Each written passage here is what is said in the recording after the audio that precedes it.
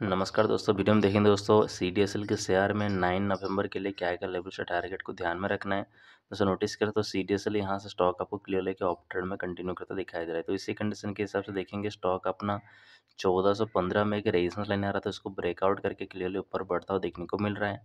अब दोस्तों C D S L में अगर बात करें कि नियरेस्ट में हमें कौन से कौन से लेवल्स पे ध्यान रखना है तो आपको दिखाई दे रहा है, ये रहेगा रहेगा सोलह सौ सत्ताईस में एक रेजिस्टेंस लाइन है सपोर्ट लाइन दिखाई दे रहा है, यहाँ पर रहेगा पंद्रह सौ इकहत्तर, पंद्रह सौ बहत्तर में, उसके बाद रहेगा पंद्रह सौ नौ पॉइंट सेवन फाइव में।